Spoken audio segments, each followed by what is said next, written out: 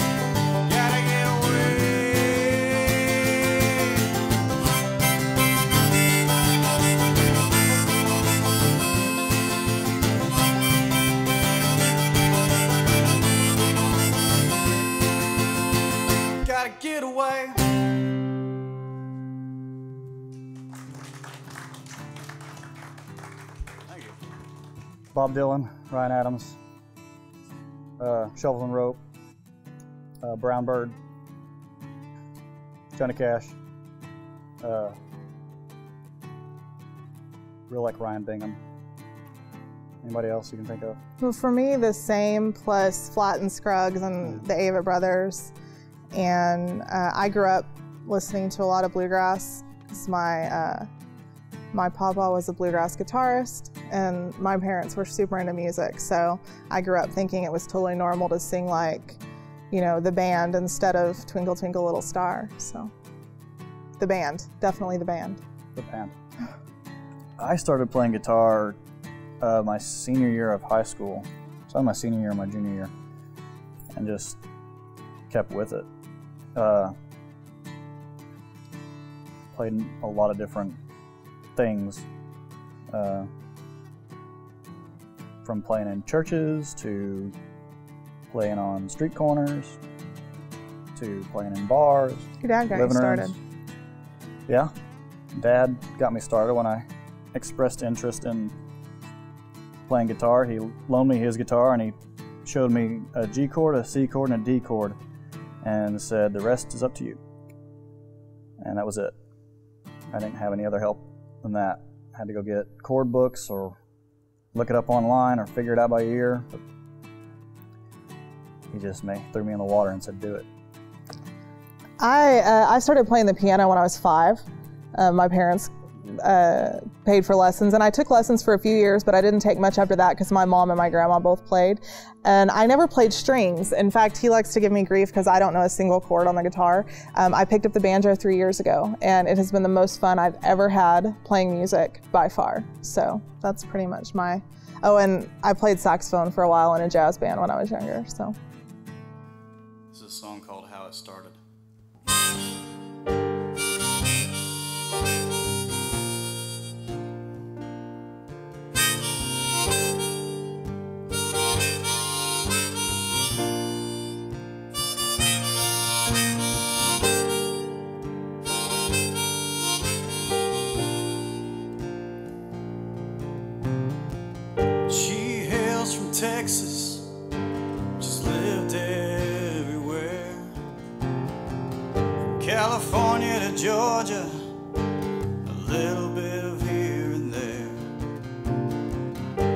We met was a twist of fate. I guess she liked my songs.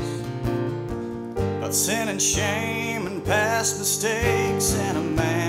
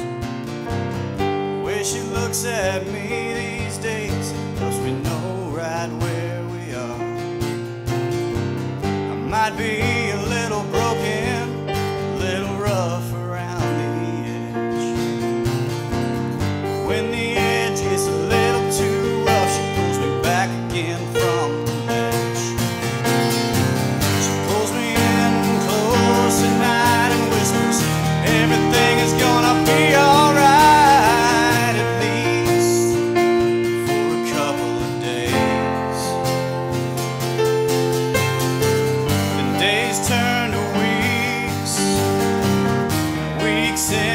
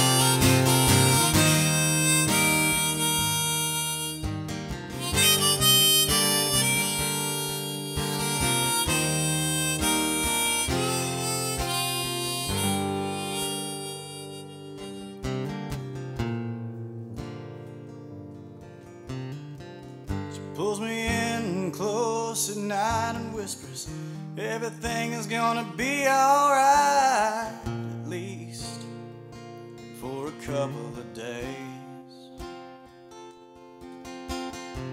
And days turn to weeks, and weeks into months. And I tell you, man,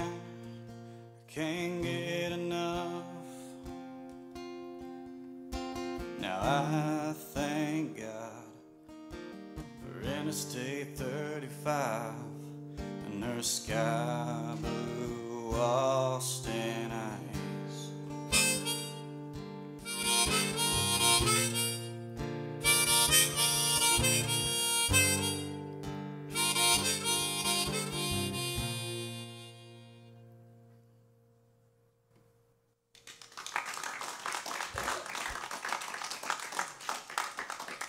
Thank you.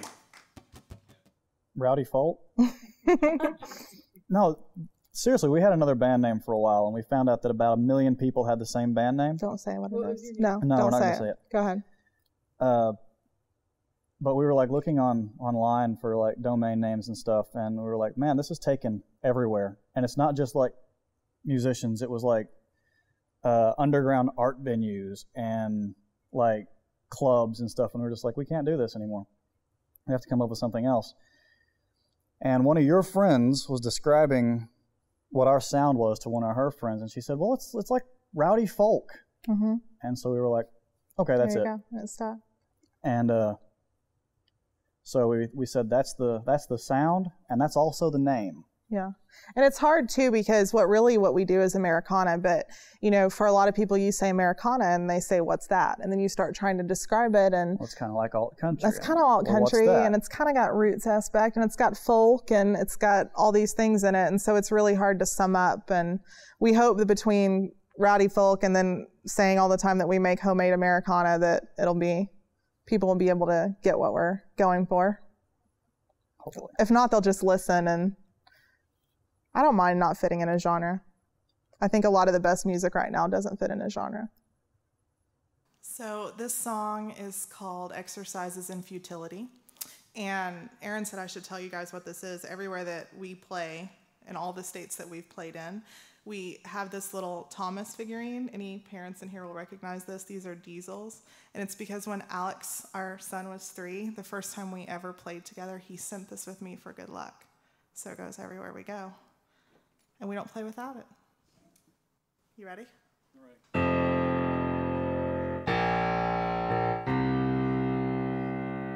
I looked out into the gray of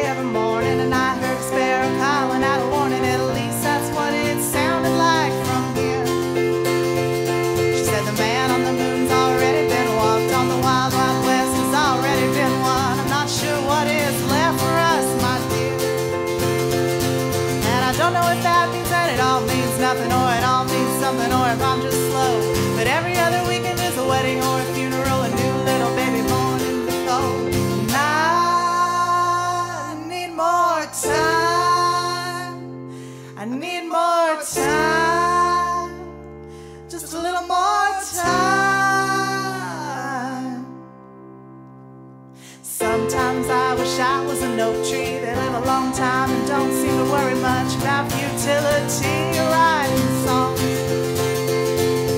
All of the stories have already been told, the songs have been done, and even love is getting old. I'm not sure why we keep stringing ourselves along.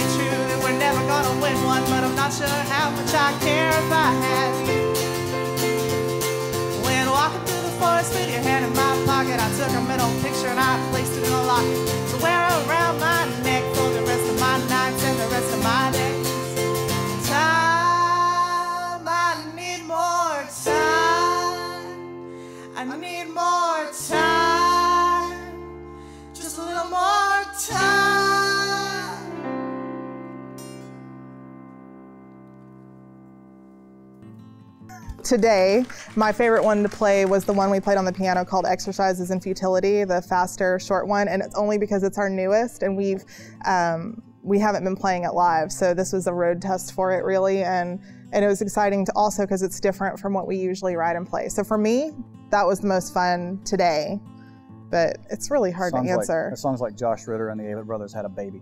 that song was hardcore inspired by Josh Ritter and To the Dogs or Whoever. Um, and riffing off of that song. And and the lyrics were inspired by the fact that we've been having this ongoing conversation. You know we're not on the one hand you know we kind of wonder if we're doing what we're doing if it's if it's completely is an exercise in futility for two reasons. One you know we're not 18 i mean it's not like we're 90 but we're not 18 and so we're trying to to start this band you know now and and also because everything's already been done. And and we look around at these people who are making amazing music and we th- and sometimes it's hard to think you know why why are we getting out here and doing this? There's already a ton of people doing it and and everything's been done. And that's where that song came from was trying to deal with the fact that everything's already been done and there's nothing really that you can do about it. You either just have to go on and do your thing or not. Hmm. So we're doing our thing. so we're doing our thing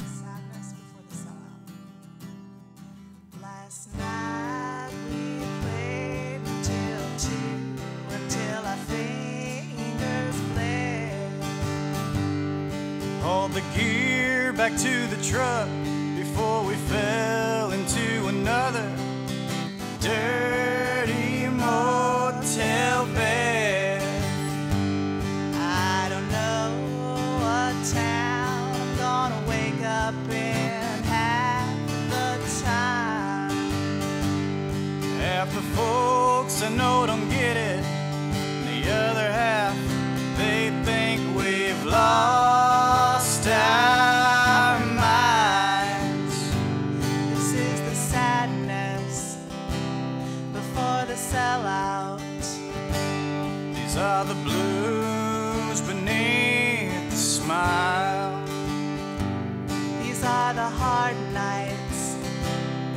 These are the broke days.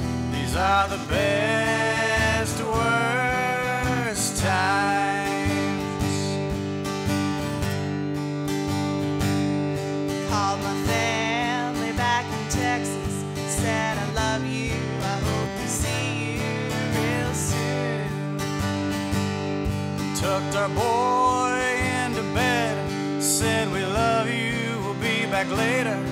Cause we've got work to do.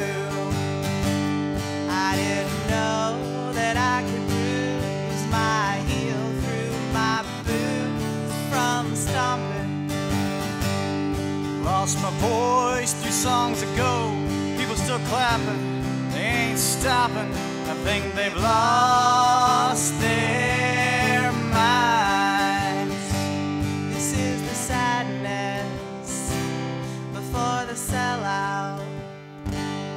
are the blues beneath the smile.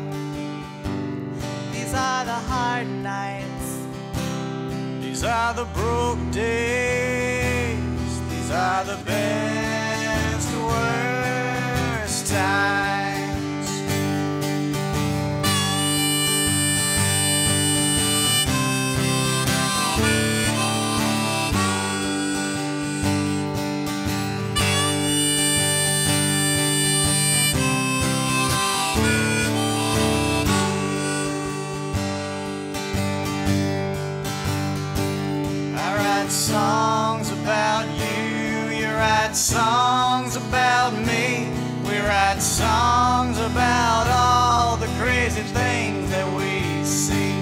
I sure hope there's enough in the tip jar to cover our tab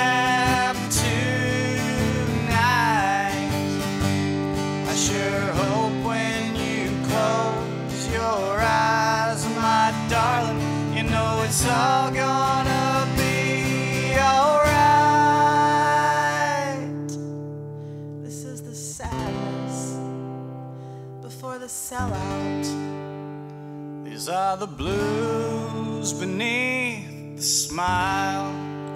These are the hard nights. These are the broke days. These are the best, worst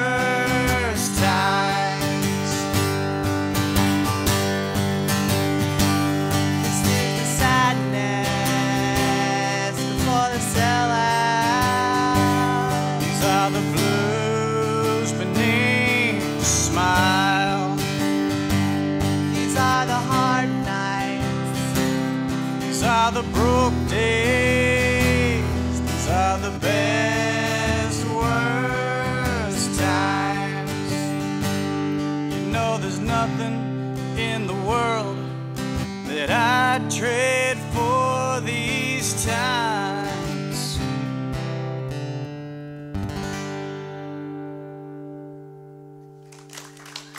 We have two completely different styles of writing. Uh, w- with me, I uh, I usually come up with like a line or something, one line, and then I retreat with a guitar and sometimes a harmonica and some paper or a computer or something, and I will just go into hermit mode until I, you know, hash out the song. She'll come up to me like after a little bit of time and be like, "Hey, I'm, I wrote a song." I'm like, "When?" Because she wrote it all in her head, and she hasn't even written it down on paper yet. And she's got the piano and the lyrics and everything. And I'm just like, "I've been working for two weeks on this song, and you just did it." It's kind of incredible. What? Go ahead. Oh, you go. One of the things is that we write we write together, but we don't write from scratch together. One of us usually comes to the other one with at least, if not an entire song, um, the the backbone of a song. There are only a couple of songs that we've really written together, and even those, one person usually has a heavier hand in it than the other. But one of the things that's really cool is and I think I know we both feel this because we've talked about it, is that the song gets 10 times better once we take it to the other person. Um, inevitably, inevitably, like whatever they bring to it and change it. And they're, they're, we're really fluid with them. So we come to each other with a song and it may be a whole song, but we don't think of it as finished until, um, until it is. And, and I don't know, some of them feel never finished, but but definitely the other person has a huge influence once the the backbone of the song is down. And we'll we'll argue and we'll we will argue. We'll argue and we'll also I mean, we don't we don't shy away from telling each other what we think about any of the stuff that we do. Been out here in Kentucky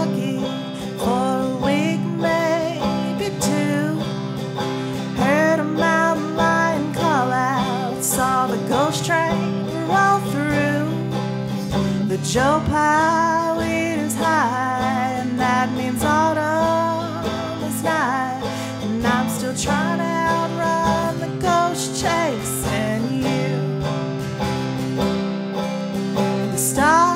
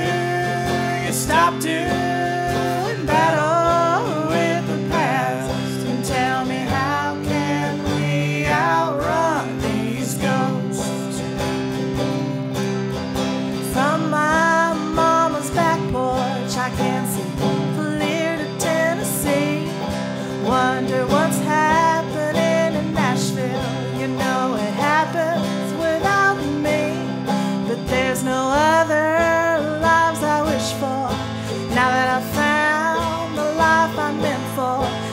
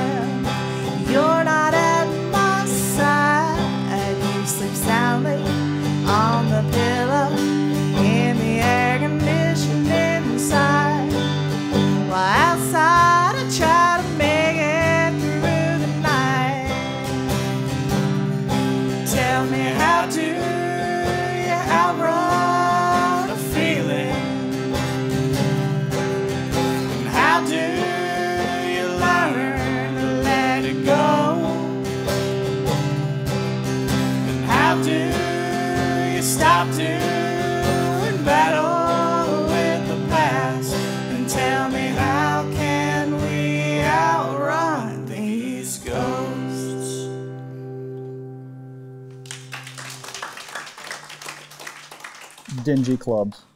For sure. For sure, absolutely. With with crowds of people who listen. And I don't I mean they don't even have to be adoring, just listening, you know? When people when you can tell when somebody's tapping their foot or nodding at a lyric or smiling at something you said or like, ah, like those moments. And I, I said earlier that my answer remains true that watching him is the best part. But the other thing that I love is seeing that when I see somebody in the audience connect with something that we're doing, like a little thing especially, that's that's killer for me. I love that. And that doesn't happen. Uh, we played one place that was kind of cavernous, the place in McAlester, and we couldn't see anybody, and it, Yeah. it wasn't the same at all. So, For me, I like I, I love playing the songs that we've written to let to show people that you know our passion, our our art, uh, and when when the songs go over well is really really nice, especially when it's one that you've written. This is going to sound super dorky, and people are going to roll their eyes and hate me for saying it, but really, my favorite thing about playing live is watching him play live. Truthfully. That's why I stare at him all the time, No, and I- everybody makes fun of me for Now it. I sound shallow. No, it's true though. That's why I always I always stare at him, and yeah, it really is the best part.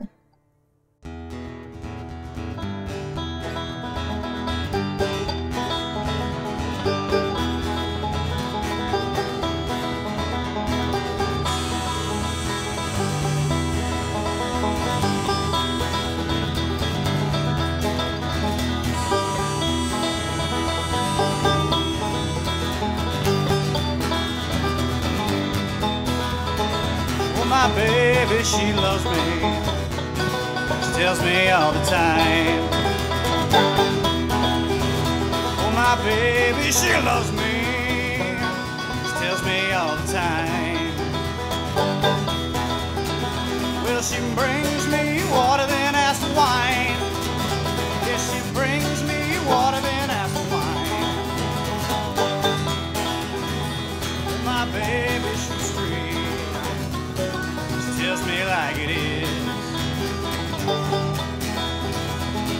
baby, shoots straight. She tells me like it is.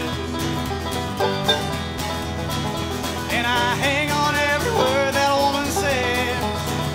Yes, I hang on every word my woman says. Oh, my baby, don't take rough. No kind of man, no. No, my baby, don't take rough. No kind of man,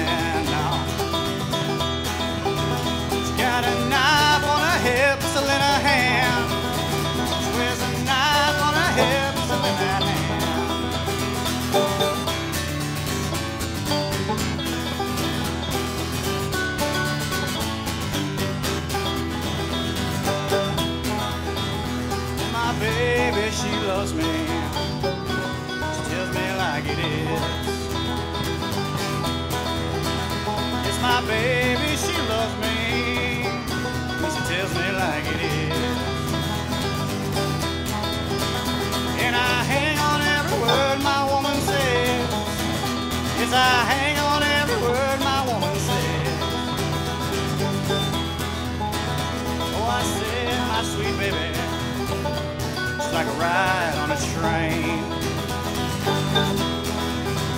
Yes, I said, my sweet baby, now it's like a ride on a train. And the way that she moves